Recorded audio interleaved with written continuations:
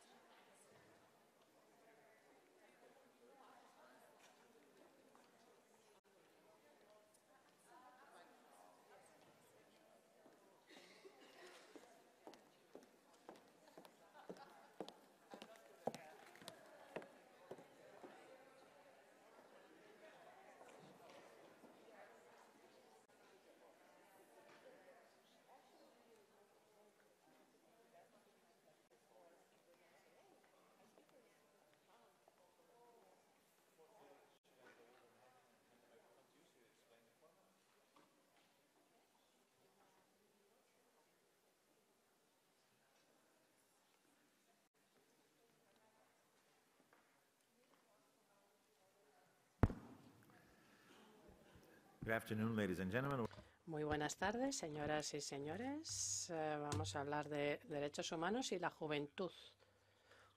Va a ser un debate muy interesante. Mm, veamos, para que nos entendamos y que entendamos la dinámica eh, de esta sesión, le voy a dar la palabra a Renata, que será quien nos explique cómo vamos a organizar las cosas. Muy bien, bienvenidos a esta sesión sobre derechos humanos, cuestiones de género y juventud. Vamos a explicarles cómo funcionará esta sesión. Vamos a escuchar primero a nuestros oradores, van a intervenir por orden, de derecha a izquierda, de mi derecha a la izquierda de la tribuna, y luego serán eh, el público, será el público el que intervenga. Esta silla vacía es para ustedes. Vamos a tener un micrófono que circulará por la sala y les vamos a pedir pues sus contribuciones em, sobre estas cuestiones, es decir, derechos humanos, género y juventud como vínculo directo eh, con la gobernanza de Internet. Muy bien, espero que estén muy inspirados eh, y dispuestos a intervenir y que se sumen a este equipo extraordinario que tenemos en la tribuna y que tengamos un buen debate. Muchas gracias. Muchas gracias, Renata.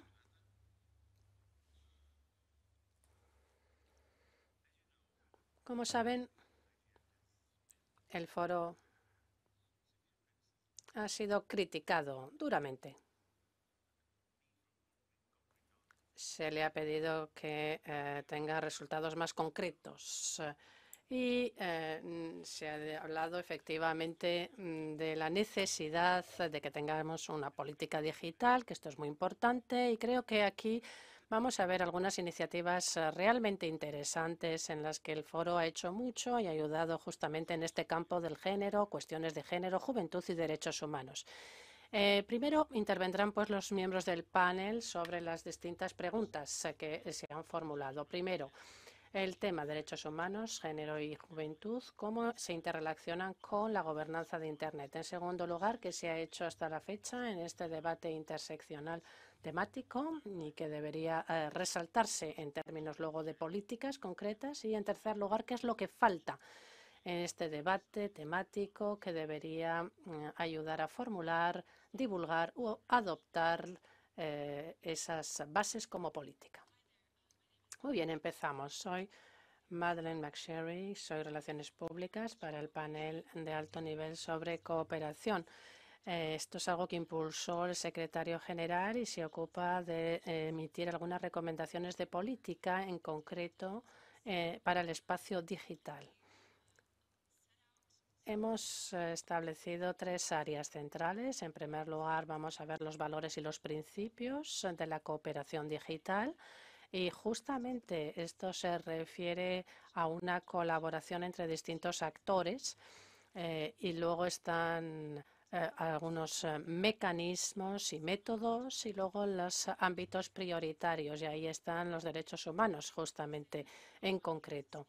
Eh, intervengo aquí en este panel para escuchar primero, más que nada. Estamos en este proceso de elaboración de recomendaciones de política y lo que queremos es trabajar con las partes interesadas, así que nos interesa escuchar lo que tienen que decir. Queremos escuchar a los grupos subrepresentados y que pueda hacerse lo necesario porque se oiga su voz en este tipo de procesos. Eh, los temas que están surgiendo de las consultas y de lo que se ha venido diciendo hasta ahora primero, concentrarse en los derechos humanos, pero sobre todo eh, considerar eh, en particular eh, lo que es la persona, es decir, qué tipo de institución tenemos para poder actuar, cómo podemos controlar en cierto modo lo que vemos en torno a estas cuestiones en el uso de las tecnologías digitales. Tenemos que ver también cuáles son las nuevas soluciones eh, que podemos proponer y, en tercer lugar, eh, analizar también las estructuras para eh, proteger los derechos humanos. Todo esto necesitamos reforzarlo para poder así avanzar y soportar la carga digital. Queremos llegar a los grupos infrarrepresentados también, como lo he dicho, que se oiga la voz de las mujeres que generalmente se ven muchas veces marginalizadas y también de la juventud. Muchas gracias. Muchas gracias. Bueno, cuestiones efectivamente muy interesantes, todas estas dimensiones y son siempre complicadas eh, cuando se habla de Internet. En segundo lugar, le voy a dar la palabra a John Carr que es un investigador. Tiene usted la palabra. Muchas gracias. Bueno, ya estuve en el panel anterior para aquellos que han estado en esta sala. Yo represento a una ONG basada en Bangkok, Tailandia. Y eh, representamos a toda una serie de eh, instituciones que vienen de más de 120 países y de todos los continentes. Eh, y nos ocupamos de todo lo que es la lucha contra el, tráfico de niños, eh, la prostitución infantil, la pornografía infantil, etcétera. Algunas de estas organizaciones trabajan también en torno a estas cuestiones en distintos lugares del mundo y son siempre cosas espantosas, evidentemente relacionadas pues con los niños eh, y con Internet. Obviamente nos ocupamos de la seguridad de los niños, de la protección de los niños. Estas son em, las cuestiones que para nosotras son prioritarias eh, y sería un error, como se suele considerar a veces, el considerar que Internet debe ser considerado únicamente como una amenaza o como una eh, fuente de peligro para los niños. En realidad, nosotros vemos también inmensas posibilidades que nos ofrece la tecnología para los niños, en particular los niños en los grupos infrarrepresentados o marginalizados. Quizá eh, sea la única manera de acceder a la información sobre sus derechos, la única manera también de, poder ejercer esos derechos, eh, tener información sobre las distintas oportunidades eh, también de que mm, disponen. O sea que creo que hay una dimensión positiva también que no debemos obviar de lo que es Internet y de lo que ofrece Internet a los niños. Y tenemos eh, un pilar, digamos, como acción central, pues el convenio sobre los derechos del niño que fue aprobado en Naciones Unidas. Es uno de los textos mm, que más aceptación ha eh, recibido en la historia de Naciones Unidas. Es una carta que establece los derechos de los niños, eh, eh, el acceso a la información de cualquier medio, de cualquier fuente y también la posibilidad de que se oiga la voz de los niños y que los niños tengan la posibilidad de expresarse también por mediación de los medios. Eh, los derechos de los niños se consideran como algo muy importante. Eh, no deben estar subordinados, no deben de ser distintos de los demás derechos, pero son derechos de una gran importancia y los niños tienen que poder gozar de esos derechos. Y eso es posible únicamente si viven en un entorno seguro. Por eso, efectivamente, nos concentramos eh, para nuestro trabajo en esos aspectos relacionados con el proteccionismo y demás. Pero en cualquier caso siempre tratamos de que las cosas se hagan de manera equilibrada, porque se puede proteger a los niños de cualquier riesgo potencial que pueda haber, efectivamente, eh, dejándoles siempre encerrados en la casa y evitando que salgan de la casa para que no estén en contacto con ningún peligro, pero eso sería totalmente ridículo. Así que hay que encontrar ese sabio equilibrio que siempre es difícil de encontrar. Quisiera hablar del tema de la gobernanza, porque es el título ¿verdad? de nuestra reunión también. Eh, aquí venimos de las esferas internacionales. Algunos estamos trabajando en zonas del mundo con mucho peligro en situaciones peligrosas eh, y difíciles. Pero yo quiero también hablar de algunos de nuestros miembros en Europa, sencillamente, algunas de nuestras organizaciones miembros en Europa. Todo el, cada céntimo, libra, euro que recogen viene del público, que recaudan viene del público. Y cuando el público da esa financiación a estas asociaciones que se ocupan de los niños, eh, lo hacen porque quieren ayudar a esas organizaciones, para que éstas puedan a su vez ayudar a los niños también. y eh, muchas de ellas eh, trabajan, por ejemplo, únicamente en los campos de refugiados eh, con los niños en Siria, allí donde han tratado de escapar de las zonas en conflicto, en la zona del Mediterráneo. Muchos han perdido la vida y viven en condiciones espantosas, en zonas muy peligrosas también. Así que hay toda una serie de grupos que están recaudando fondos para ir a ayudar a los niños en esos campamentos. Y es eh, muy complicado decir a esas organizaciones, bueno, dejen de gastar dinero en ese tipo de labor y eh, envíenlo y envíen a John a Brasil, a Australia o a cualquier otro lugar eh, para hablar con Google, Microsoft o Naciones Unidas sobre cómo conseguir que Internet funcione mejor para los niños. Es que no parece razonable ni realista pretender que esas organizaciones desvíen financiación de ese tipo de trabajo que están efectuando, ayudando a los niños que han sido víctimas de abusos sexuales con una terapia. Esa es una realidad, efectivamente. Cuando se trata de hablar de la gobernanza de Internet, yo soy británico, venir a París no es un problema, evidentemente desde Londres, pero no puede uno participar así sencillamente en muchas de las estructuras de gobernanza de Internet si uno no tiene dinero para pagar eh, por eh, el alojamiento, el viaje, etcétera. Yo sé que el, eh, el foro tiene también un sistema de ayudas financieras para los mm, participantes de los países en desarrollo, por ejemplo, pero en cualquier caso las asociaciones que se ocupan de los niños por todo el mundo no están suficientemente equipadas, no disponen de toda la información, los recursos necesarios eh, para ayudar a todos a participar en este tipo de eventos. Y eh, por eso el tema de la gobernanza de Internet y de los foros sobre gobernanza de Internet pues no ha sido una prioridad, porque si lo hubiera sido, pues las cosas se hubieran eh, hecho de otra manera. Y por último,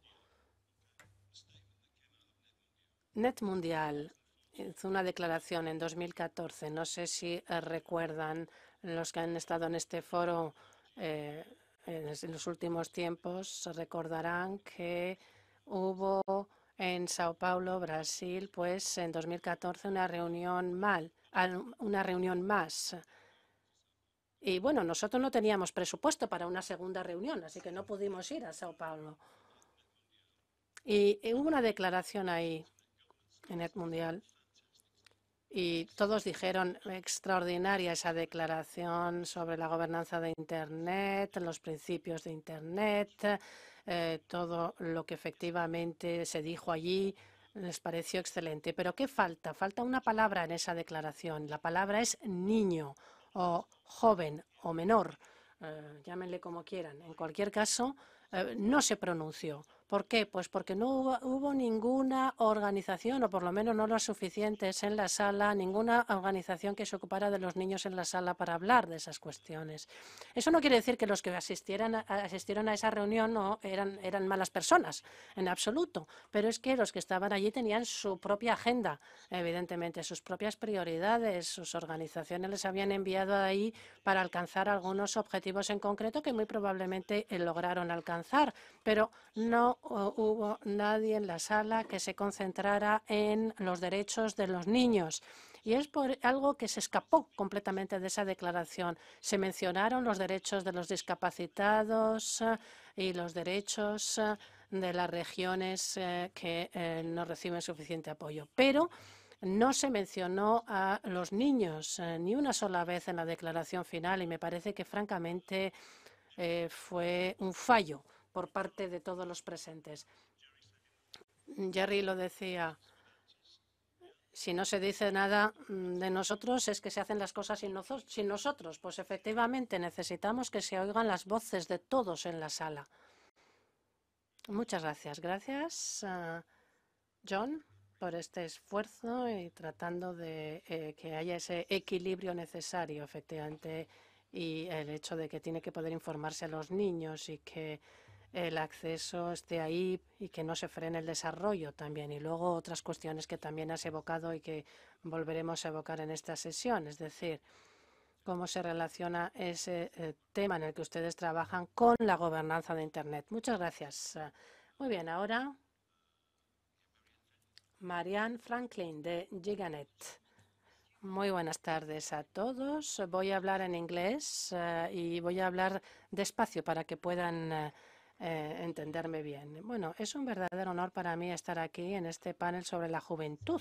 Estoy representando la red académica sobre gobernanza de Internet y eh, tengo que decir, soy educadora y lo primero que quiero decir es que nosotros empezamos hablando sobre todo mmm, de la complejidad que suponen todos estos temas. Uh, eh, interseccionalidad no es un término académico como tal. Eh, es importante que entendamos eh, la complejidad que se define con ese tipo de términos. hay que simplificar las cosas también. Vemos cómo hay muchas transformaciones que se están dando en el sector de la enseñanza superior, en las escuelas primarias, en las guarderías.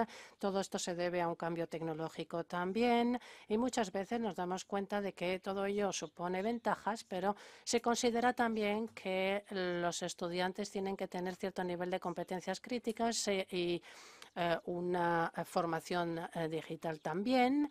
Eh, y eh, bueno, eh, cuando pregunto y veo en mis salas, en mis aulas de clase, qué es lo que saben y qué es lo que no saben y qué es lo que eh, quieren eh, aprender para que efectivamente puedan tener acceso a todos esos uh, instrumentos que están a su disposición.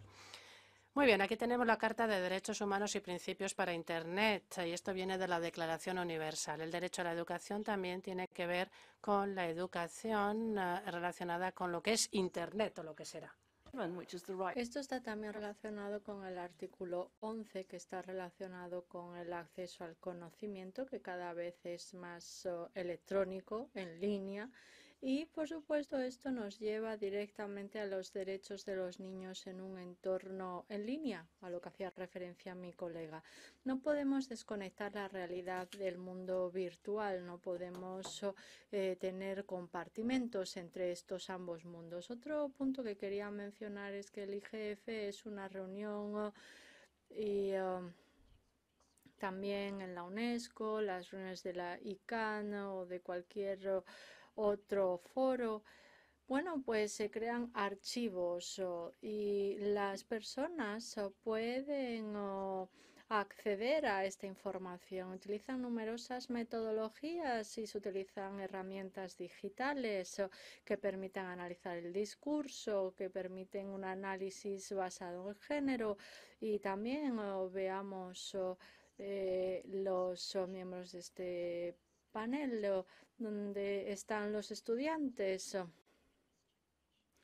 Y me gustaría finalizar para ceñirme a los tres minutos diciendo que quisiera felicitar al IGF, a la Secretaría y al MAC por la gran labor que han realizado en los últimos son 10 años o por haber hecho posible la participación a este foro gracias al uso de las tecnologías. La plataforma que utilizamos, aunque no es perfecta, nos brinda numerosas oportunidades. Yo tengo estudiantes que han o firmado como para participar o son, participan gracias a estas tecnologías o aunque no puedan participar en persona.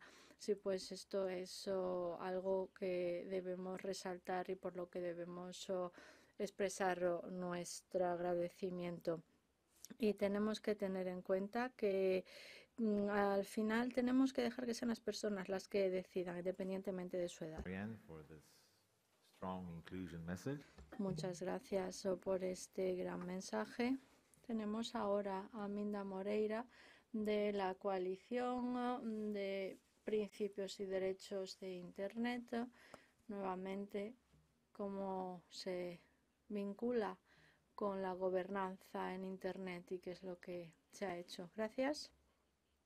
Represento la coalición de Principios y Derechos de Internet, que forma parte del IGF. Es una red abierta compuesta por organizaciones comprometidas para con los derechos humanos en el entorno electrónico. Nuestra base de trabajo, nuestro documento clave es la carta a la que ha hecho referencia Mariano, publicada en el 2011 y que ahora se ha traducido ya a 10 idiomas, incluido el mío, mi idioma materno, que es el portugués.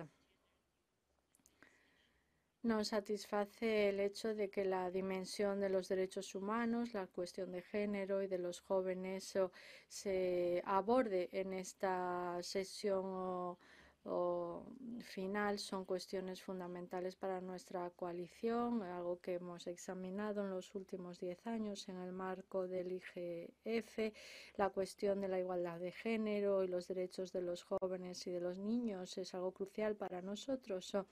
Y esto me lleva a mencionar la, a Ava, a una muchacha que no sabe eh, leer ni escribir, que no puede contar más de 10 y que no puede entender bien los conceptos de bueno y malo, pero ella puede decir que eh, es una, una persona y aunque no puede uh, utilizar un dispositivo, o sí que puede eh, acceder podría acceder para ver dibujos animados o, u otro. Y por eso yo pienso que tenemos que ser cautos, tenemos que empoderar a los jóvenes y alfabetizar a las jóvenes generaciones en cuanto al mundo virtual. Debemos ofrecer un entorno seguro, protegido, para que los jóvenes tengan acceso a la información, pero sea conscientes de la información a la que acceden y que eh, se tenga en cuenta que es el que, que es un entorno en línea y un entorno en el que no tiene que producirse acoso o discurso de odio. En el artículo 12 de la Carta se mencionan los derechos de los niños y de eh, Internet y el derecho a beneficiarse de Internet. La libertad de no ser víctima de abusos o explotación y el derecho a que se oigan sus opiniones. Yo pienso que esto es fundamental, lo respeta los intereses de los niños. Y yo pienso que a medida que crezca Ava y se convierta en una joven podremos permitir que gracias a esto pueda participar plenamente en el entorno en línea en virtud de nuestro artículo 2 sobre el derecho a la no discriminación y el acceso de Internet y la gobernanza. Gracias. Thank you, Minda. That was a really strong thread of messages.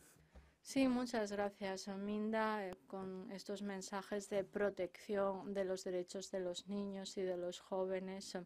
Y como vemos, tenemos ese ejemplo concreto de los esfuerzos desplegados con esa carta del 2011. Tiene la palabra Lilian Alwoga. Sí, muchas gracias. Yo me voy a centrar en la perspectiva de género, el papel de las mujeres. Tendría en realidad más preguntas que, que respuestas o cómo conseguir que más mujeres estén conectadas o que participen más en los debates políticos.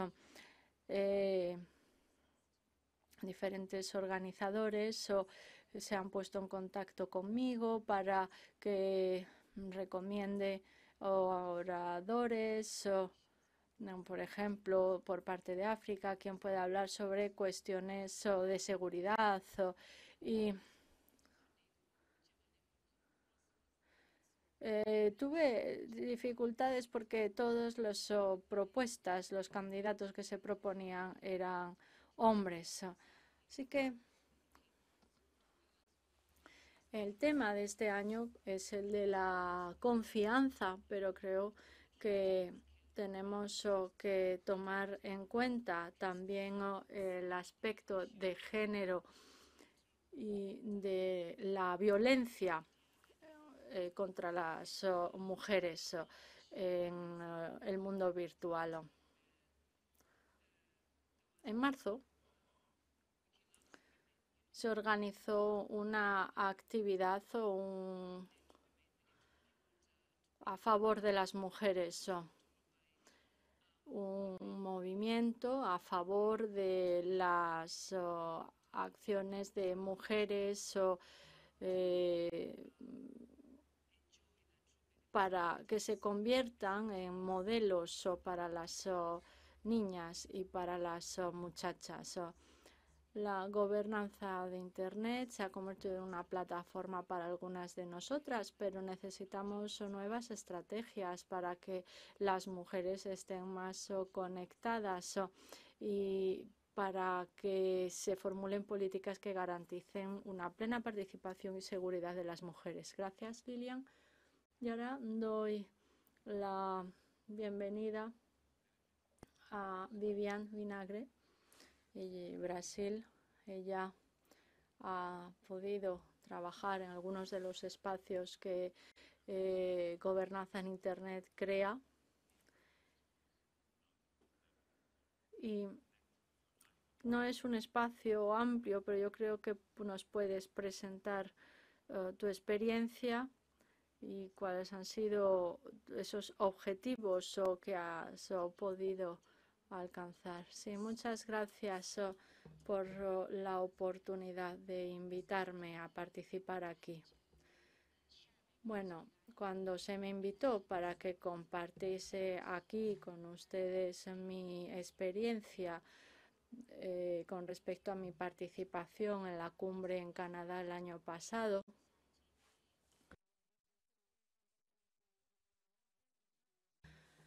y abordar las cuestiones de los jóvenes. En la cumbre de América del Norte es como un foro,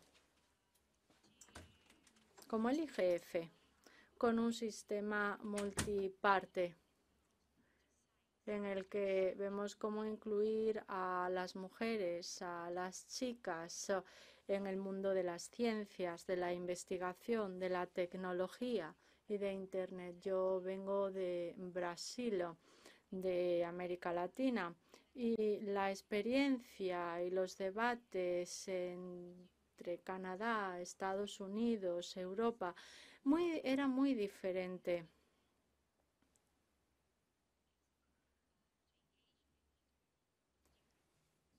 porque los problemas con los que se topan las mujeres a la hora de acceder a Internet eran muy diferentes.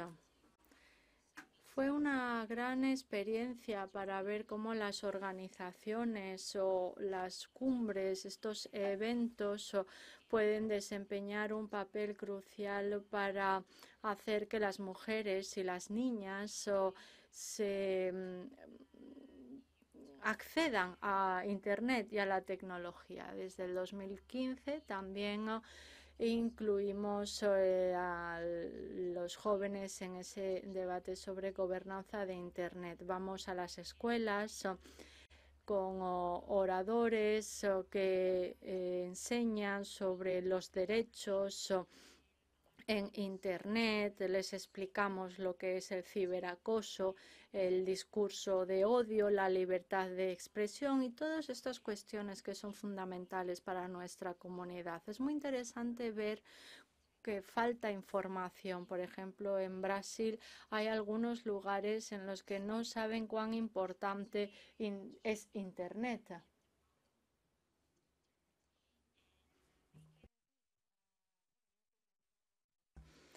Y les intentamos demostrar de que tienen un gran oh, poder gracias a Internet y que pueden hacer lo que quieran. Oh, y también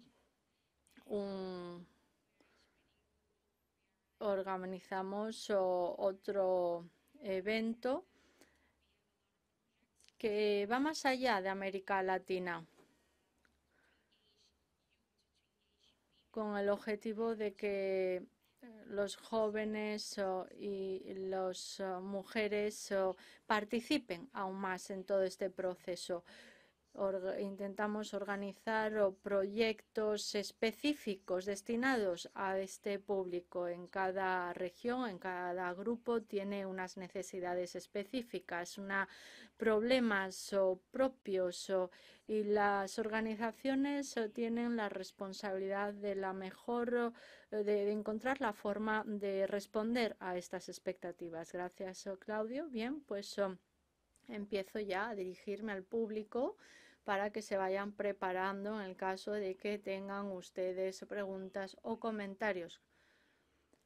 Doy la palabra a Nidi Goyalo, activista eh, eh, pro de las muchachas con discapacidad de la India. Adelante. Sí, muchas gracias por invitarme a participar en este panel. Ha sido realmente un viaje interesante. Coincido con las inquietudes y los elementos que se han mencionado ya. Todos vemos que al hablar de gobernanza de Internet hablamos de algo que va mucho más allá de la mera infraestructura. Abordamos cuestiones jurídicas, culturales, socioeconómicas, así como obviamente la infraestructura física de Internet.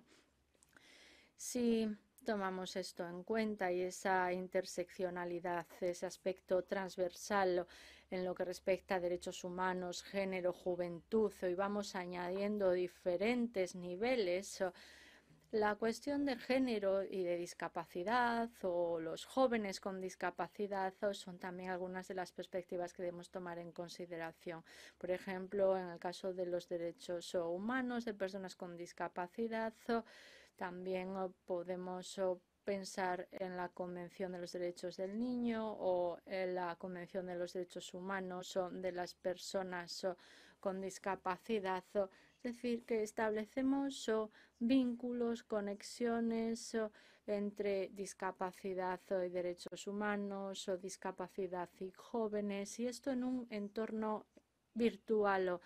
Necesitamos un acceso universal, un entorno propicio sin discriminación. Y estos son los pilares de la convención que he mencionado. Tenemos artículos que están específicamente relacionados con la cuestión de género y discapacidad, con el acceso en lo que respecta al acceso a la justicia, el acceso a la información, el derecho a formar parte de la comunidad en un pie de igualdad. Y, por ejemplo, eh, tomando en consideración comunidad como comunidad real, no conectada y comunidad conectada en línea. En los objetivos de desarrollo del milenio no había cabida para la discapacidad. En el caso de los ODS, la discapacidad se menciona específicamente en el objetivo ODS 5 relativo al género. Y aunque en los ODS se habla de que nadie quede rezagado, eh, las inclusiones específicas con respecto a la discapacidad se deben reforzar aún más. En el sur, cuando hablamos de las jóvenes con discapacidad o o de los jóvenes con discapacidad, pues son aspectos fundamentales. El acceso a la información, por ejemplo, es muy restrictivo. Los estudiantes utilizan material muy básico. Muchos jóvenes con discapacidad están muy retrasados con respecto a sus compañeros o incluso llevan un retraso de cuatro a cinco años debido a esa falta de acceso. Las infraestructuras físicas tampoco están a la altura. Eh, no hay conexión, no hay acceso a los servicios de salud o a los servicios de justicia y también hay problemas en lo que respecta a la seguridad social y muchas mujeres o jóvenes con discapacidad no participan en actividades políticas, económicas y sociales, con lo cual el estigma, el aislamiento es considerable. Y esto es lo que puede solventar Internet. Les puede ofrecer una plataforma para conectarse, para ofrecerles independencia por ejemplo, en cuanto a las mujeres, los derechos de las mujeres, sus derechos a expresarse, en particular en aquellas comunidades en las que no tienen libertad de expresión. Vemos que Internet, esos espacios electrónicos en línea les brindan la oportunidad para expresar su identidad y su forma de pensar. Ocurre lo mismo con las personas discapacitadas que quizás no tienen esa capacidad para poder hablar, pero sí que Internet les ofrece eh, la posibilidad de expresar su, su visión, su forma de pensar.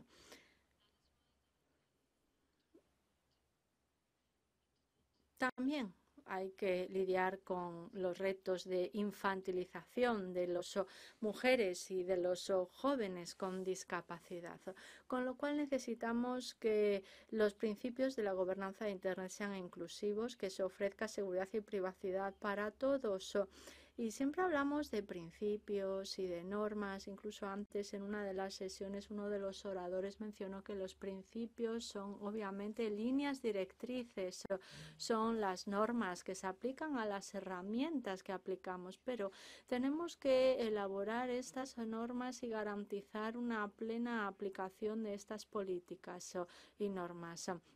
En la India hemos aprobado recientemente una ley relativa al derecho de las personas con discapacidad eh, y con respecto a que todos los establecimientos privados y públicos tienen que estar adaptados para las personas con discapacidad. Es decir, también en cuanto al aspecto virtual hay una gran brecha digital y necesitamos pensar que al hablar de principios y de normas y principios compartidos de gobernanza de Internet no tendrán éxito si no entendemos y no nos damos cuenta de que la inclusión debe ser la norma, que la concienciación con respecto a estos principios compartidos es fundamental y que deben incluir a las cuestiones de género de jóvenes y las la discapacidad. Muchas gracias. Creo que no podíamos tener un panel más completo como el que tenemos al abordar todas estas cuestiones relacionadas con la gobernanza de Internet, porque realmente eh, los mensajes que están presentando son cruciales. Doy ahora la palabra a Olga Cavalli. Ella eh, trabaja en la cuestión de los derechos humanos y la tecnología desde hace mucho tiempo.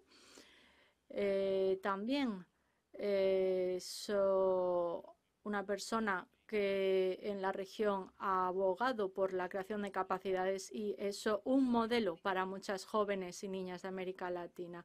Muchísimas gracias, Claudio.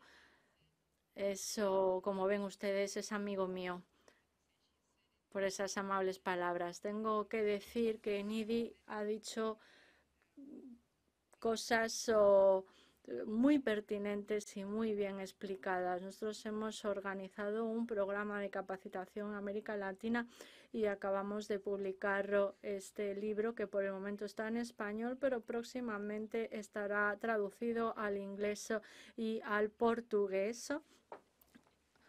Y podrán pues acceder a esas versiones rápidamente, próximamente. Bien, yo he podido constatar un impacto positivo de Internet en la sociedad. Es cierto que hay aspectos negativos, pero de forma general, a mi parecer, Internet es muy positivo. ¿Qué hemos conseguido? Bueno, yo creo que hemos conseguido dar voz a muchas personas o nuevas voces se elevan o mm, las personas pueden expresar sus ideas o se producen revoluciones a través de las redes sociales. Yo cuando le digo a mis estudiantes que cuando yo estudiaba en la universidad no tenía internet, me miran diciendo, pero ¿cómo hacíais? ¿Cómo comunicabais? ¿Cómo coordinabais con los profesores o los compañeros? ¿Cómo aprendían de otras regiones? Y bueno, Tenemos ahora esa libertad, esa libertad para comunicar, para aprender, para expresarnos, ese acceso a la educación, a una información a un nivel que no existía en el pasado. Yo estoy de acuerdo con el hecho de que no todos pueden participar en estos espacios o ahora tenemos una participación remota con proyectos destinados a los niños, a los jóvenes. hemos conseguido mucho, pero queda camino por recorrer. Y diría que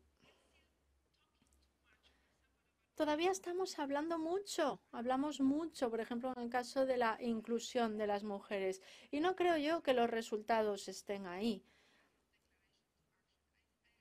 Yo pienso, una vez dije que había que pasar de la declaración a la acción y he visto que muchos han copiado esta expresión mía, pero yo pienso que hablamos mucho de la inclusión de las mujeres y de su posición y de la inclusión de las mujeres en cuanto al acceso a Internet, pero yo no veo que esto se refleje en la realidad.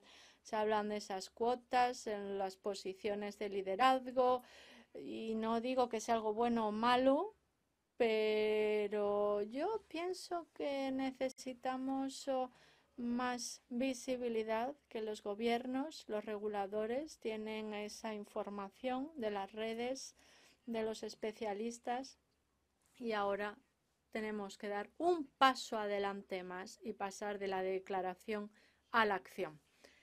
Y en cuanto a la edad, con la Escuela Argentina de Gobernanza de Internet, este año, este año hemos comenzado a trabajar con muchachos que están en secundaria de unos 17 años y ninguno de ellos hablaba de las personas mayores, de las dificultades que tienen para acceder a los dispositivos, a los programas informáticos. O, por ejemplo, mi madre tiene 86 años y ella tiene una página de Facebook, pero tiene problemas a veces para acceder a, estos dispositivos. Gracias, Olga. Creo que hay una intervención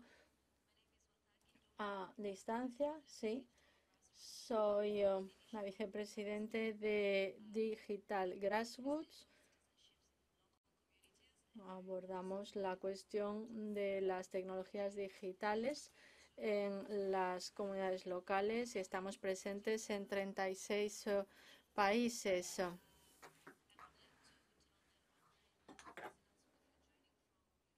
Yo modero eh, intervenciones en línea, así que cuando haya preguntas o comentarios, no duden ustedes en enviarme sus preguntas y observaciones. Queremos que sean lo más interactivas posibles. No sé si hay alguna intervención remota. Sí, bueno, están entrando ahora, pero podemos dar la palabra al público. Oh, we, we have one over there. Would you like to take a seat here? That's the spirit.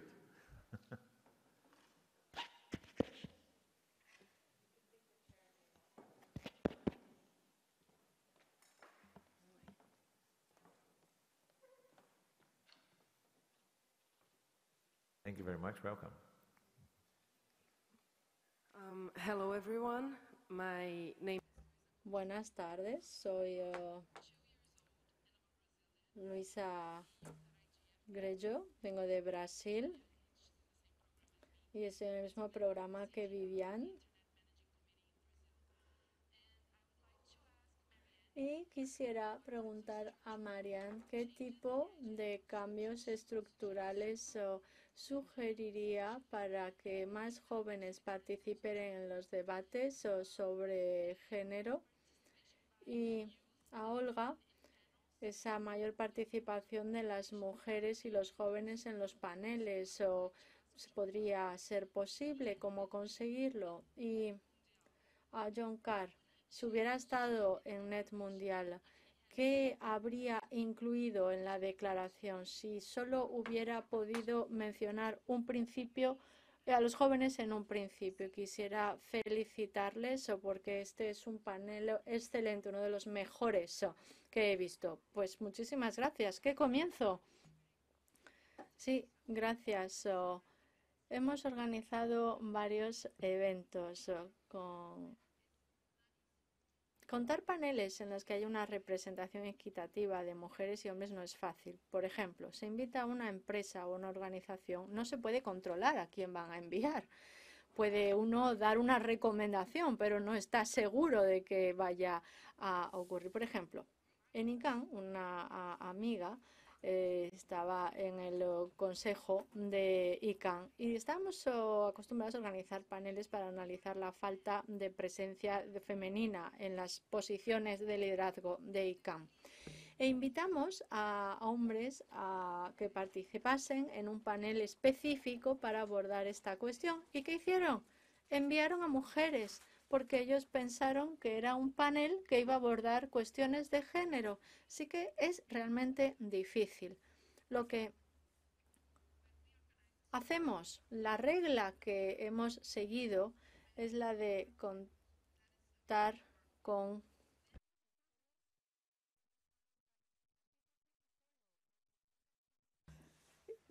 contar con hombres y mujeres al 50% es la regla que hemos aplicado en la Escuela de la Gobernanza de Internet.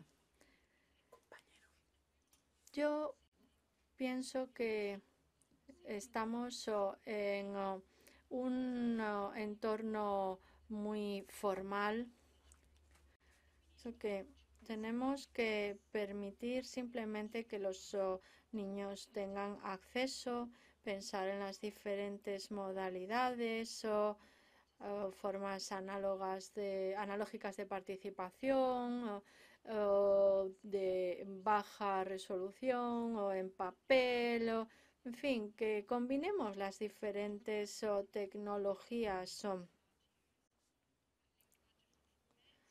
y en los diferentes formatos lo hemos intentado que por ejemplo hoy este es un gran ejemplo el cambiar las cosas, o mover los micrófonos, o aunque su intérprete no se lo recomienda, el bailar, o, eh, todo esto mm, nos permitiría cambiar un poco las cosas, porque yo pienso que, por ejemplo, esta sala o nuestra arquitectura no es algo que se adapte a los jóvenes, a los niños y por eso yo barajaría otras modalidades, porque si aquí hubiera niños o jóvenes o estudiantes, yo pienso que sería necesario eh, cambiar mucho las cosas aquí para poder también tomarles en cuenta pero se necesitan muchos recursos para financiar estas iniciativas.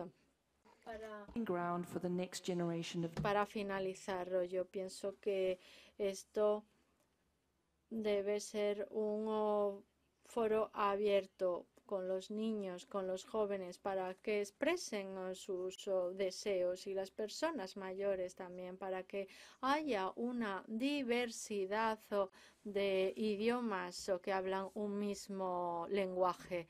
No sé si esto responde a su pregunta. Bueno,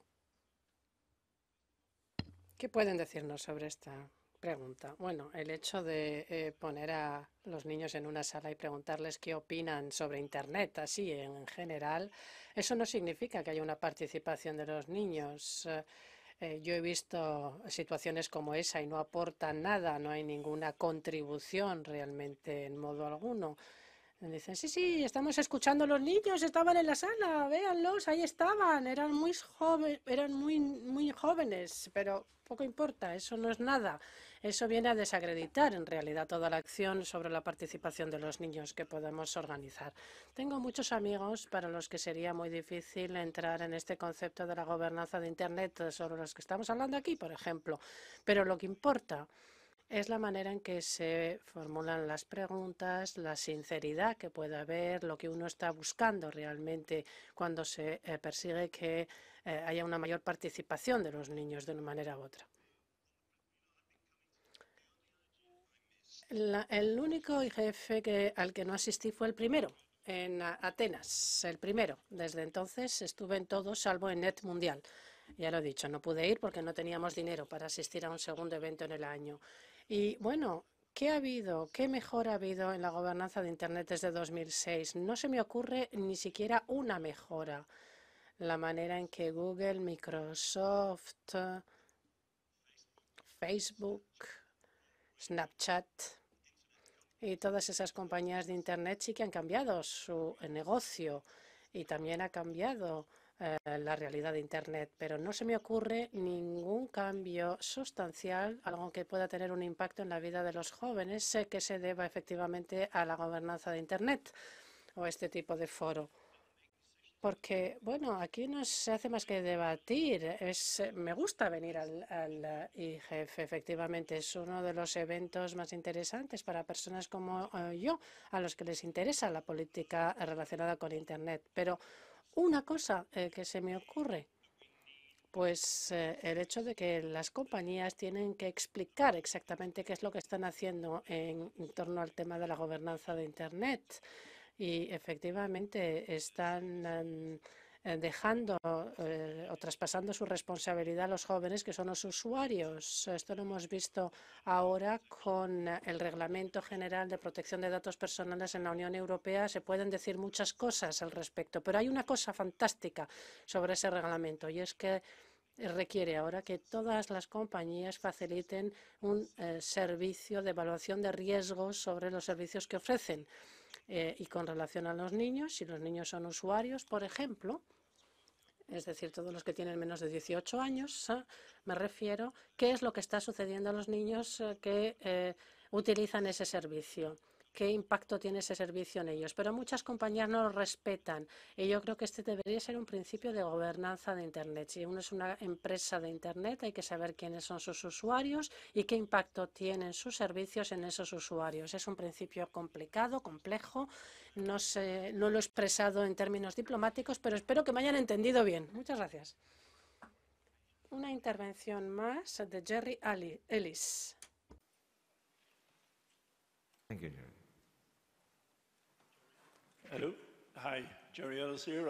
Soy Jerry Ellis. Eh, estoy aquí. Si no les importa, hablaré desde la sala, pero con micrófono. Bien, represento a una de las coaliciones dinámicas. Hemos hablado antes eh, de todo lo que es acceso y discapacidades. Pues bien, se han dicho muchas cosas ya que yo iba a evocar también, pero yo quisiera eh, quizá también enfocar las cosas desde otro ángulo eh, cuando hablamos de derechos humanos también. Eh, me parece que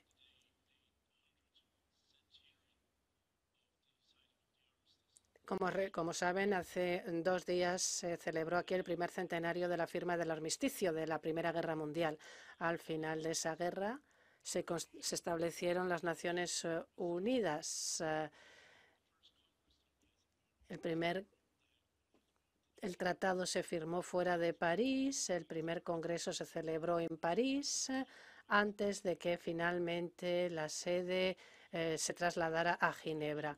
Pero lo que vimos eh, en realidad al principio eh, con todas estas organizaciones que se establecieron es el hecho de que en aquel entonces estábamos todos heridos y necesitábamos eh, pues sanarnos, curarnos. Eh, y, bueno, el tema de la discapacidad también estaba evidentemente sobre la mesa. En la eh, OMS, por ejemplo, a principios de los 80 hubo un decenio internacional, o un año internacional, mejor dicho, sobre la discapacidad, en los años 80. Y ahí luego siguió ese decenio sobre la discapacidad. Y tengo que decir que a partir de ahí la interacción con el entorno es algo muy importante. Mi discapacidad es que soy ciego y efectivamente hay que tener en cuenta esa interacción con el entorno cuando se habla de una discapacidad, se habla de todo tipo de discapacidades. está la Convención también sobre los derechos de las personas con discapacidades y sus 50 artículos. Y ahí se habla del hándicap, de lo que supone ser una persona discapacitada, de lo que es ese trastorno médico eh, que ha generado esa discapacidad. Y, bueno, una vez más hay que distinguir las cosas, hay que tener una buena definición de las cosas. Las soluciones, la manera en que las personas eh, luego pueden aplicar distintas soluciones. Hemos oído hablar mm, de el hecho de que, eh, bueno, está el WebEx, hay personas que no pueden efectivamente viajar aquí, pero han recibido apoyo para poder volar y estar presentes gracias a WebEx. Eh, eh, las personas también ciegas que no han podido venir también no han podido participar. Bueno, la única manera de participar es cuando se les permite, eh, cuando tienen a otra persona sentada justo a su lado que puede ir escribiendo en su nombre o interviniendo en su nombre llegado el caso. Y este problema lo vemos en todos los países, también en los más pobres, evidentemente, el hecho de que la tecnología no está a disposición, pero eh, no solo es una cuestión de tecnología, está la educación también que tenemos que poder eh, desarrollar. Tenemos que tener en cuenta las necesidades eh, de un máximo de personas y es evidente que no puede haber un solo diseño, obviamente. No puede haber una sola solución para todos. Hay que ir adaptándola a las necesidades de las personas. y un ejemplo que hemos eh, dado hoy eh, el hecho de poner subtítulos, por ejemplo, en esta reunión. Hay muchas reuniones simultáneamente y eh, si queremos, por ejemplo, hablar con un profesor aquí en esta conferencia, y mm, decir, ¿por qué no mm, subtitulamos, cogemos todos los subtítulos de los anteriores IGF y hacemos que toda esa información, todos esos datos que son una mina de datos pueda estar a disposición de las personas? Son todo tipo de soluciones que están a nuestra disposición, a nuestro alcance para las personas con discapacidades. Muchas gracias. Sí, muy interesante, efectivamente, pero tenemos que seguir. Tenemos a Catalina. Y si Catalina no está lista, pues quizá alguna otra intervención entre tanto. Soy Aileen y vengo de, viene de Portugal, viene de Digital Grassroots y quiere hablarnos del reglamento sobre protección de datos y pregunta si todas las compañías acabarán aplicándolo y si es la mejor solución para proteger la privacidad de los usuarios. Veamos quién quiere contestar.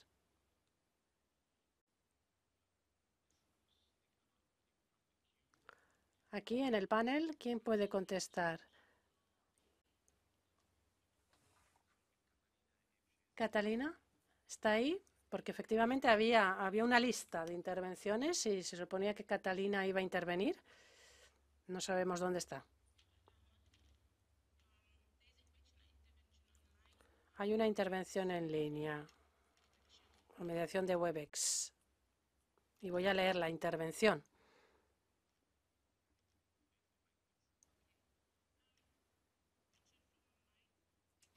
Pregunta en línea de Mutargui, Kenia. Es una pregunta a los ponentes. ¿Qué opinan que podría hacerse para mejorar el acceso de las personas mayores? ¿Qué hay que cambiar para que esto mejore? y si efectivamente no se están eh, cuando se no, cuando no se permite el acceso a internet quizá eh, se esté vulnerando también un derecho humano eh, bueno les voy a pedir que sean muy breves en sus intervenciones por favor. Bueno distintas generaciones y tecnologías evidentemente lo que utilizamos hoy bueno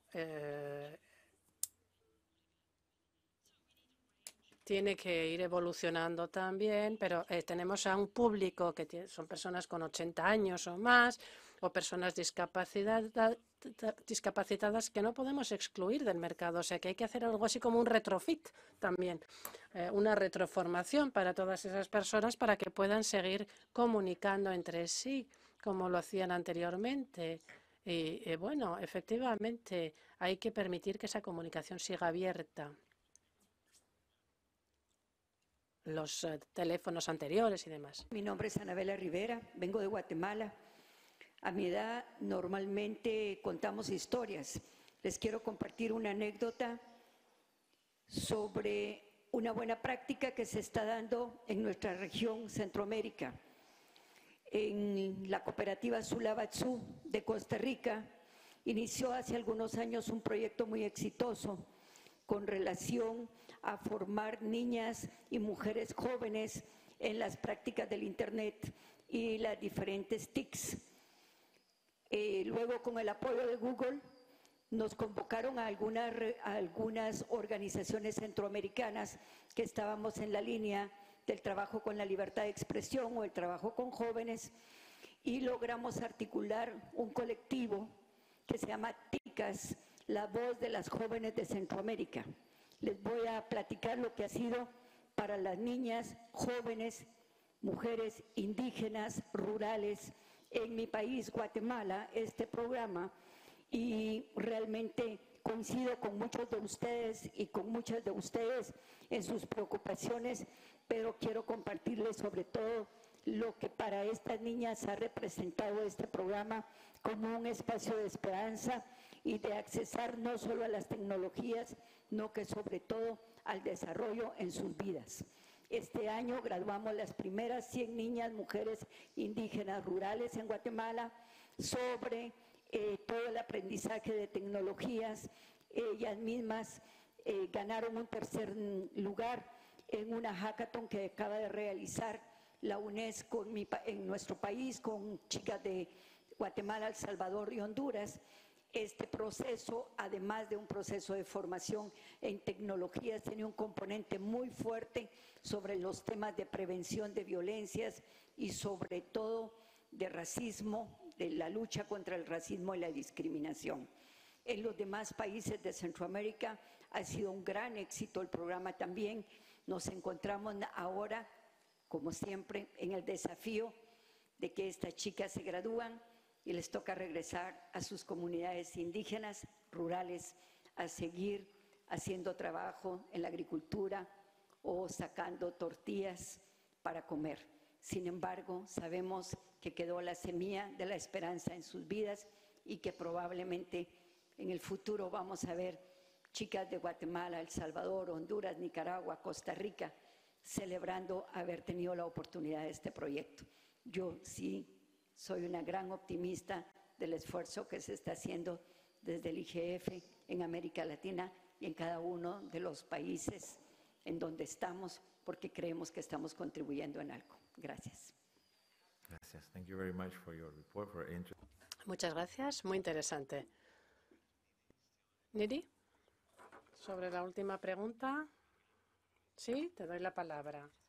Sí, yo quería solo eh, referirme brevemente a los comentarios que se han hecho anteriormente sobre las, eh, los jóvenes, las personas mayores, los niños, cuestiones de género. Y quisiera decir para las personas mayores, cuando hablamos del uso eh, y del acceso, bueno, es, lo necesitamos es facilitar el diseño en realidad. Muchas veces pensamos que lo que tenemos que tener es material que sea fácil de leer, fácil de utilizar, porque así puede eh, ser consultado por distintos tipos de personas, eh, independientemente de que sean personas discapacitadas o no. O sea que eso es importante, efectivamente. Diseño eh, sencillo. Y luego, en segundo lugar, hablando de los niños y de otras diversidades, cuando decimos discapacidad no es un grupo homogéneo y cuando decimos niños tampoco lo es, efectivamente. Hay mucha diversidad cultural, geográfica y tenemos que entender que la discapacidad no es única y los niños tampoco lo son. Y en muchas eh, sesiones, por ejemplo, podemos tener niños que son que tienen autismo, es decir, que también dentro del grupo niños hay que diferenciar efectivamente y no se puede mm, generalizar. Hay personas que sufren, por ejemplo, ansiedad social, eh, eh, y hay distintas maneras de trabajar ahí, como lo decía Marianne. Y lo más importante de todo es que estamos hablando de género también, de cuestiones de género. ¿Pensamos realmente que el espectro de género se eh, respeta aquí si efectivamente se tienen identidades de género lo suficientemente claras? Eh, es evidente que si hay mucho aislamiento y eh, en nuestras comunidades eh, con cuestiones de género, justamente eso no ayuda en absoluto. Y creo que estos espacios con acceso a Internet son espacios en donde uno puede redescubrirse, por así decirlo. Así que tenemos que trabajar de manera inclusiva y considerar que Queremos crear espacios, eh, políticas eh, que sean inclusivas eh, de las personas y que no excluya a unos u otros. Bien, muchas gracias. Renata, más interactividad. Sí, soy Renata Quina, una de las moderadoras. Ven aquí que pueden subir a la tribuna si quieren. Aquí también este es su espacio. Pueden venir a hacer sus intervenciones desde la tribuna si lo desean. Muy bien, tenemos ahora una intervención muy interesante por parte del coordinador del DC en los pequeños estados insulares en desarrollo. Por favor, sube a la tribuna.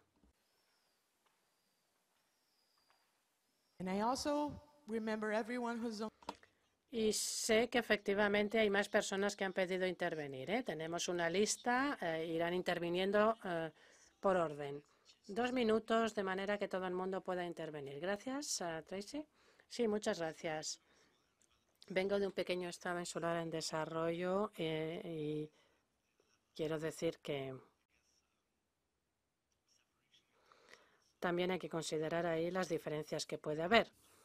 Tenemos cuestiones de género, de juventud, evidentemente, las personas mayores, eh, eh, las personas discapacitadas, pero luego tenemos otra eh, etapa que es efectivamente el tema de las regiones eh, y de la ubicación donde uno vive. ¿Cómo se tratan todas estas cuestiones? ¿Cómo podemos resolver los problemas del acceso? ¿Cómo podemos hacer oír la voz de todos? a este nivel. No se trata solamente de la juventud, las cuestiones de género o los discapacitados, sino que también en términos más amplios están las zonas aisladas, las zonas rurales eh, de difícil acceso, etcétera. Y eso también tenemos que incluirlo. Muchas gracias. ¿Algún comentario con relación a este aspecto que evoca Tracy? Sí, yo quería decir algo sobre la última intervención, justamente. Cuando pienso en eh, la juventud, la necesidad de incluir a los jóvenes, estoy pensando en distintos proyectos y cuando hablamos del género,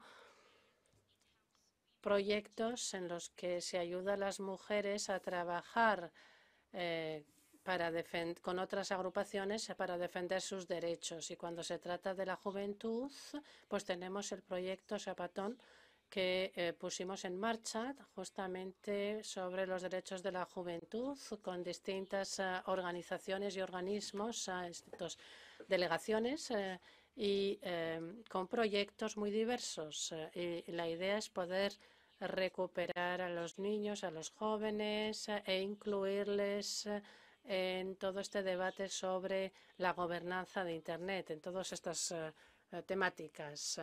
Y para que todo esto sea más inclusivo aún, pues hay proyectos como el proyecto sobre género, que está eh, dando lugar a toda una serie de informes justamente, y eso también es muy importante. Sí, tenemos una lista de oradores con Catalina. Catalina, yo no sé si hay alguna manera de que podamos eh, incorporarla a nuestra lista. Si no, Valentina. Por favor, si quiere subir a la tribuna, Valentina, para intervenir desde aquí.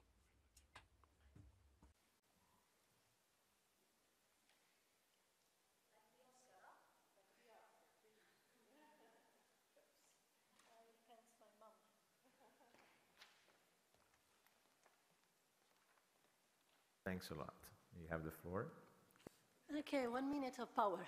Bueno, un minuto solo de poder. El color, bueno, no sé. Aquí ah, están todos los colores. Eh, son eh, la representación de los queers. Bueno, juventud, derechos humanos, eh, cuestiones de género. Yo pensaba que una vez más íbamos a decir lo, mismo de siempre. Eh, pero aquí de lo que se trata es la libertad eh, de poder descubrir su propia identidad o sus propias identidades. Y la sexualidad es eso justamente. Y si hablamos de la juventud, es una época de experimentación. Y eso es muy importante. ¿Qué queremos? ¿Quiénes tienen que estar aquí justamente? Porque no se trata solamente de hablar eh, de esto, de lo otro. Tenemos que ofrecer el espacio para todos, a, todas las diversidades. Eh, eh, vamos a excluir a unos a otros porque en Internet también se sanciona la diversidad, pero es un lugar también de ocio de placer Internet y eso también hay que recordarlo a unos y otros. Si hablamos de derechos humanos, se tiene que definir las cosas bien, efectivamente, pero sobre todo hay que articular lo que es la diversidad. Y cuando hablamos de la juventud y eh, de los menos jóvenes, estamos hablando de todos los colores que queremos eh, incorporar. Y no estamos hablando de empoderar, se trata de dar eh, el poder realmente. Esto es esto es tener poder, el hecho de poder intervenir, el hecho de que em, se me permita hablar y eso significa disciplina y solidaridad también. Muchas gracias. Gracias. ¿Algún comentario de los miembros del panel? Muchas gracias. Valentina, muchas gracias. Sí, eh, muy buenos comentarios, efectivamente. Solo nos quedan ya unos diez minutos antes de terminar, así que por favor un comentario del panel, ¿sí? Luego una persona en la sala y ya no tendremos tiempo para más. Adelante, tiene usted la palabra. Sí, soy Nicole Pido Pattison y vengo del Caribe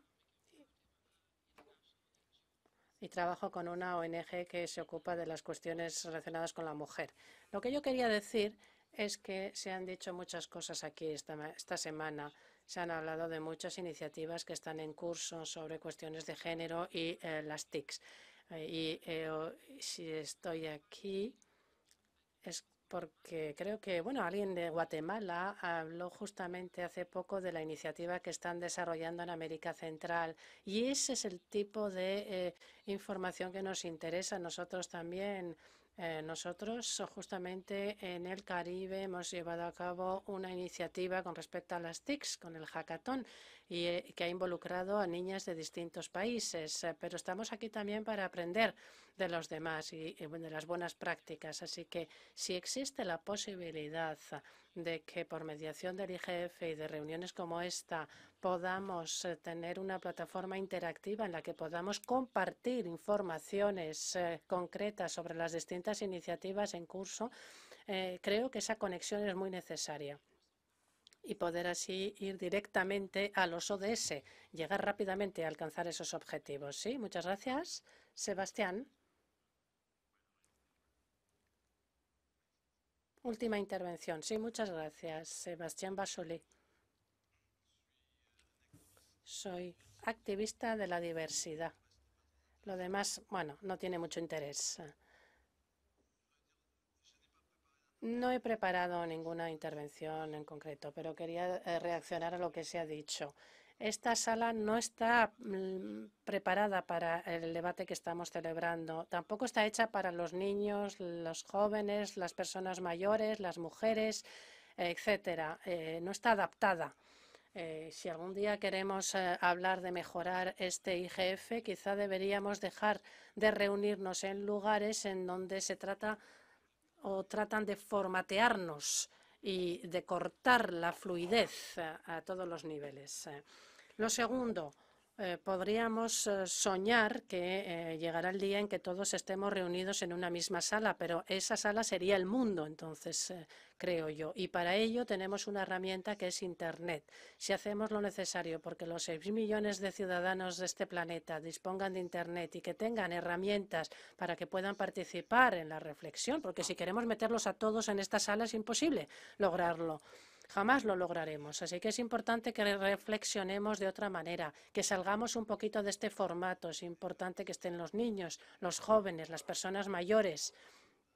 Y yo entro en esa categoría. No soy muy viejo, pero soy, formo parte del grupo de los viejos y tratemos de eh, er, eh, oponernos los unos a los otros eh, o, los unos con los otros. Tratemos de entender que somos distintos, somos diferentes. Hay lugares en el mundo en donde no tienen acceso a Internet. En la aldea de Bourgogne, de la que vengo, es muy difícil acceder a Internet, justamente. Las personas tienen a veces que desplazarse con su coche para poder llamar por teléfono, utilizar su móvil.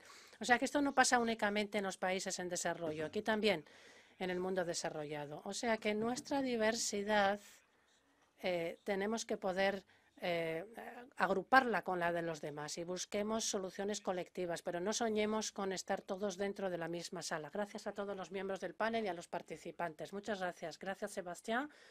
Muy interesante, efectivamente.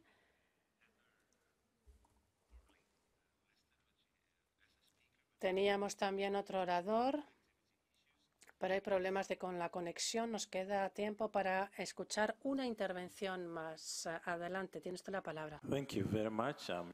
Sí, muchas gracias.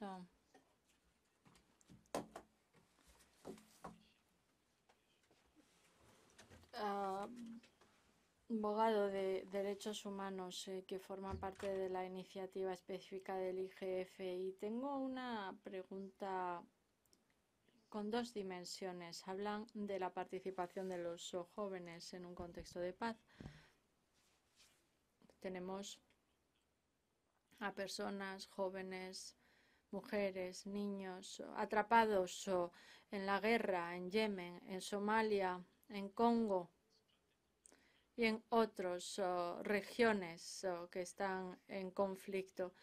¿Cuál es la estrategia del IGF en este caso? Cómo podemos utilizar este recurso, esta herramienta de Internet para exponer esos abusos contra estas mujeres o niños que son los más vulnerables ante esta situación de guerra. Ahora se habla mucho de los escollos, o por ejemplo en mi propio país, o eh, hay numerosos ataques eh, contra usuarios de las redes sociales, especialmente los más afectados son los jóvenes y por supuesto las mujeres, con lo cual necesitamos un diálogo, un compromiso por parte de los gobiernos en cuanto a garantizar esa libertad de expresión y en particular la libertad de expresión en línea. Cierto que con pocos minutos es un tema muy serio, pero sí, la cuestión de esos cortes sí que se han mencionado puesto que es una cuestión realmente muy seria. Como ha dicho, no hay tiempo para abordar estos temas. Nos quedamos ya sin más tiempo. Mm, quisiera dar las gracias a todos los miembros de nuestro panel por su participación. Unas últimas palabras, Madeleine. Bueno, a todos los que han intervenido aquí en el panel o por parte del público. Realmente ha sido un debate muy interesante. He tomado muchas notas y creo que arroja luz sobre numerosos aspectos. Pienso que, como se ha mencionado, cuando hablamos de la protección de los derechos de las mujeres y de los niños, tenemos que ser cautos y evitar una infantilización de estos grupos. Muchas gracias a todos porque hemos llegado a un elevado nivel en nuestro discurso y estas cuestiones no son binarias, como se ha dicho, son complejas. Al hablar del derecho de la educación es el derecho de educación de la próxima generación que trabajará en, esa, en ese mundo digital. Así pues, tenemos que estar preparados. Gracias. John. Bien, pues yo hay algo que sí quisiera mencionar. Yo debo decir que no he votado jamás a favor de los conservadores en mi vida y no puedo imaginar una circunstancia en lo que lo tenga que hacer. Pero, dicho esto, tengo que decir que un primer ministro conservador inició un eh, examen con respecto a lo que él denominó eh, la comercialización y sexualización de los niños, realizado por un académico de gran renombre, eh, Valley. Y yo creo que si tienen la oportunidad, busquen en Google esta información porque es un informe muy documentado y que toma aspectos muy interesantes sobre cómo a Internet ha hecho que cambien las ideas y las imágenes de lo que una niña mm, debe ser o cuál es la imagen que debe tener.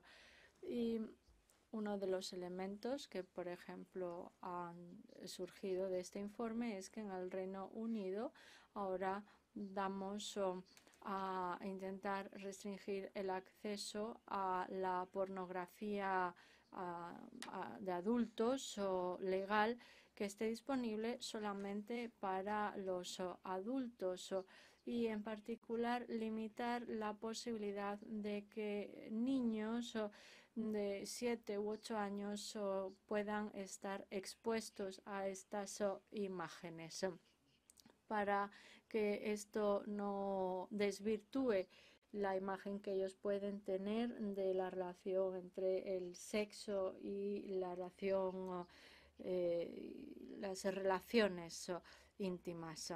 Y lo menciono porque si no han oído hablar sobre este informe de comercialización y sexualización de los niños es realmente muy interesante. Por mi parte, dos comentarios. 65 millones de personas están desplazadas debido al cambio climático y las intervenciones militares, principalmente la guerra.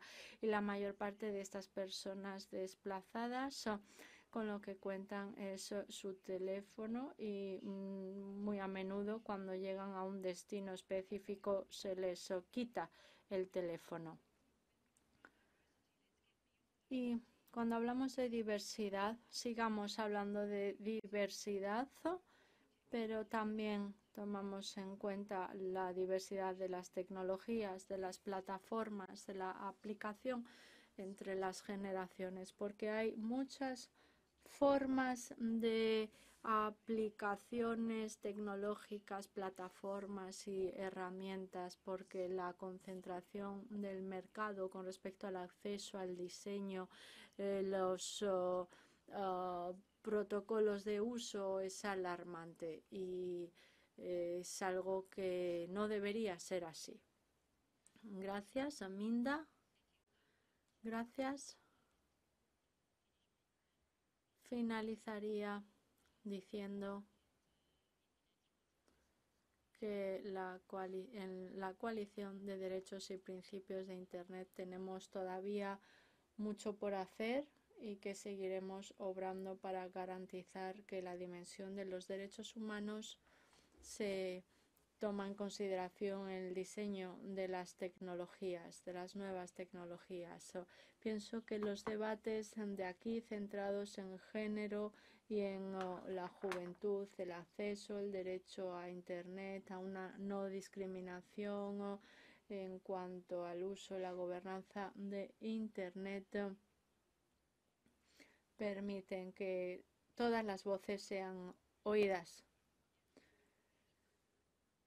Gracias. Liam. Bien, cuando comencé tenía más preguntas que respuestas, pero a medida que he escuchado las intervenciones de todos, creo que la responsabilidad en línea no se resalta lo suficiente. Abogamos porque haya más mujeres conectadas, que haya más jóvenes que utilizan estas herramientas, pero el aspecto de la responsabilidad en cuanto al uso de Internet no se puede obviar. Antes de llegar aquí, la UNESCO organizó una sesión en la que asistí con respecto a la prevención de la radicalización. Y creo que esto es a lo que hacía un poco referencia el colega de Uganda, cómo garantizar que los jóvenes y las mujeres, que son principalmente las víctimas de abusos o pueden aprovecharse de las ventajas de Internet sin quedar atrapados en estas actividades ilícitas que se producen también en el mundo virtual. Si pues en cuanto a la seguridad, por supuesto que se ofrece el acceso de información, pero con un uso responsable. Internet puede ser una buena herramienta, pero también una herramienta utilizada con malas intenciones. Muchas gracias. Por supuesto que no podemos más que resaltar esas cuestiones. Gracias, oh, Claudio. Yo comparto lo que se ha dicho. Sabemos que Internet puede ser un entorno propicio para los jóvenes y para las mujeres.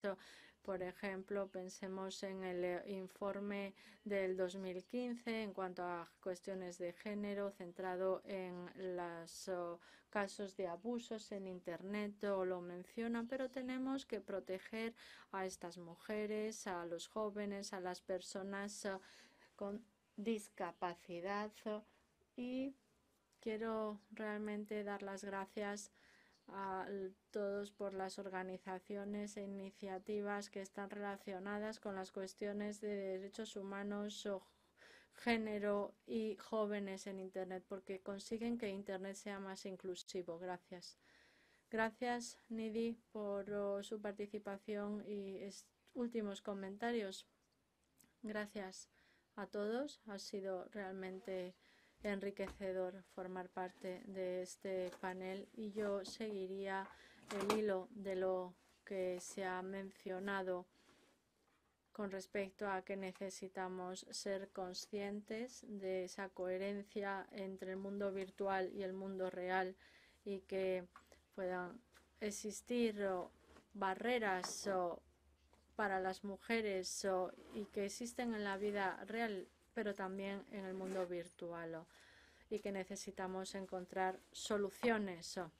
Otro aspecto que mencionaría es que para muchos de nosotros, para jóvenes, para mujeres, personas con discapacidad, para personas LGTB, toda esta diversidad ha encontrado cabida en Internet. Es un espacio de libertad, de liberación, muchos han conseguido en Internet expresarse, encontrar esa voz eh, rotunda que no tienen en la realidad.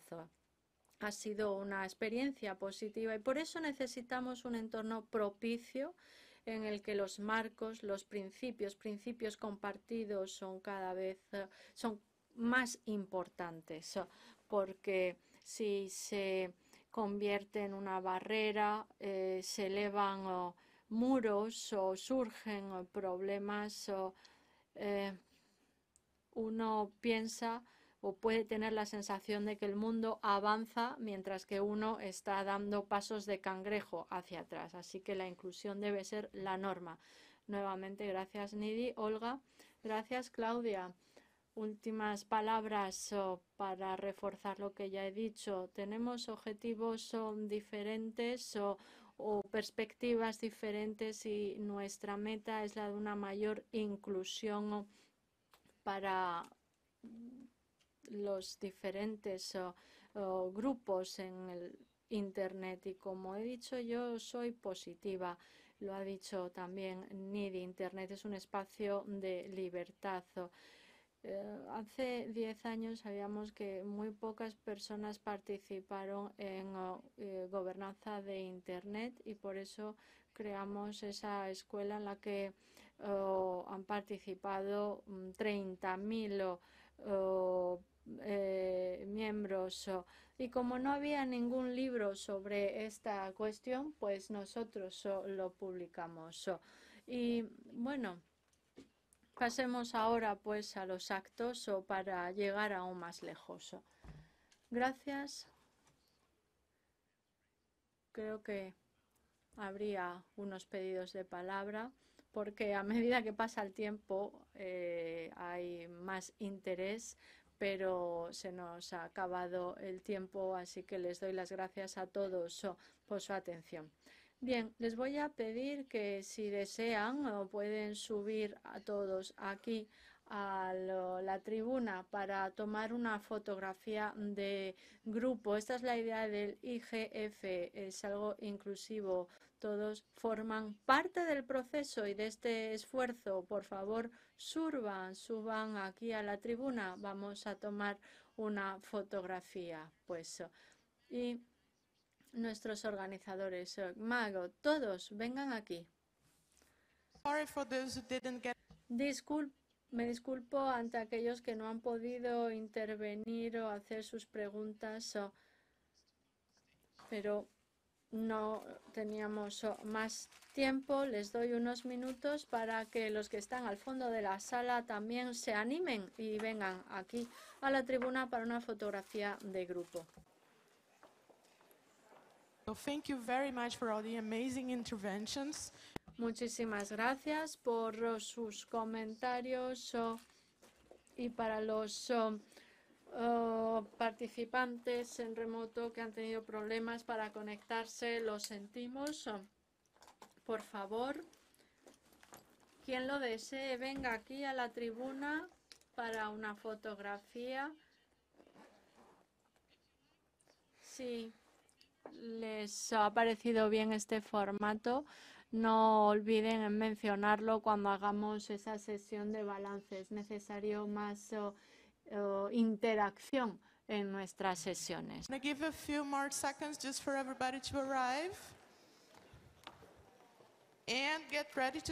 Bien, pues si ya están listos, hacemos la fotografía.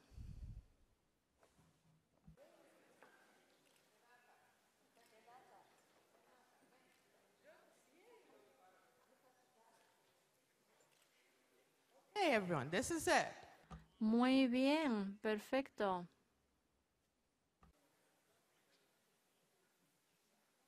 Now, Jeff, come on.